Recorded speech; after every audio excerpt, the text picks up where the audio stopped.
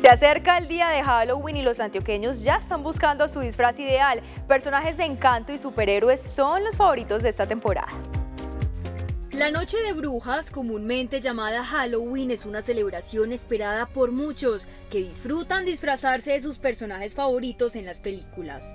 Este año la producción inspirada en Colombia, Encanto, es la favorita para niños y adultos. Los personajes de Mirabet, de Bruno, eso ha sido como tal en el momento el boom, aunque sin dejar que continúan ese, los superhéroes, los indios, los piratas.